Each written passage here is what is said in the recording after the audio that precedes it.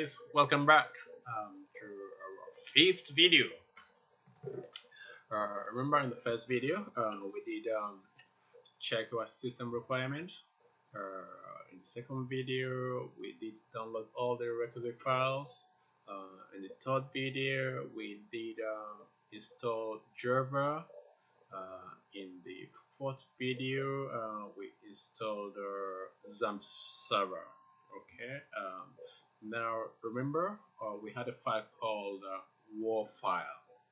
Okay so now that we've installed XAMPP uh, we need to copy that particular uh, file the openmrs.war file.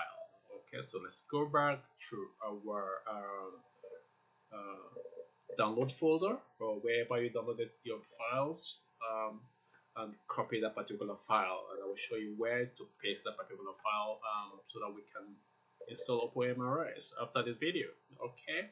Uh, do not forget all the videos have to be followed sequentially.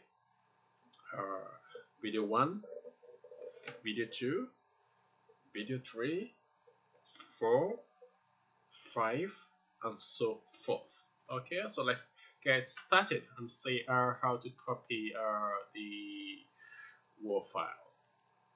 Okay, so let's play the video game. Uh, so just go back to our download folder and um, our open MRS WAR file. Yeah, so that's the WAR file there. Just right click, click copy.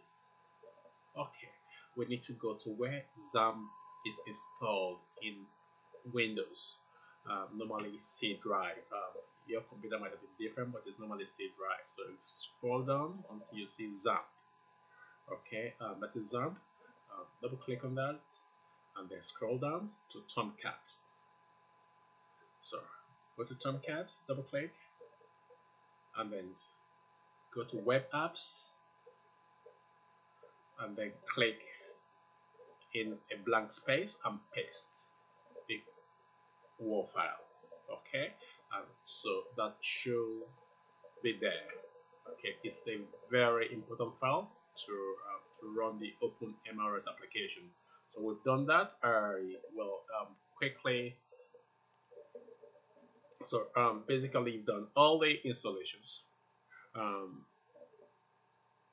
of uh, you've not copied and pasted um, uh, the open MRS WAR file into XAMPP, Tomcats, Webcats folders. Paste it there and you're home and dry. And we can crack on to the next video. Straightforward, isn't it? See you later. Bye.